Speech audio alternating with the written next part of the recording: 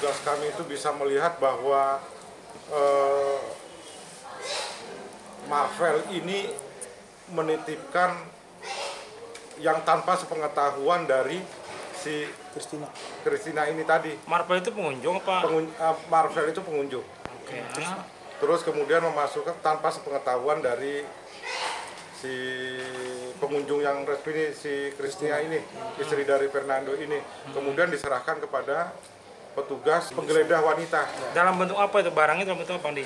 Itu di dalam berupa di dalam amplop yang isinya tuh ada uang eh, sebesar 1.450 kemudian diketemukan empat paket hemat Sabu. yang diduga sabu